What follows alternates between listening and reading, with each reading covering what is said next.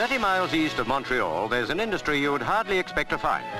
They're planing mahogany to be used in organ building at a family firm more than 120 years old. For some time now, they've been turning out more than 50 organs a year. Being melted is an alloy of lead and tin. At the right temperature, it's poured into a trough to solidify. This, of course, is for the metal pipes. Those spots indicate that it's cool enough to be rolled out. The real art of organ building lies in the scaling of each individual pipe. Everything but the keyboards, which are made in England, is manufactured in this Canadian works.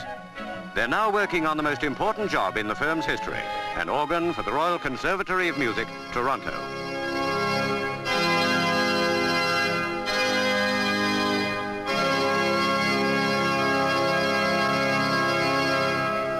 There's a stuck valve somewhere. It'll have to be located before anything else is done. The note tells him in which division of pipes to look for it. Putting it right is a fairly easy matter. Now the organist can get on with the musical test.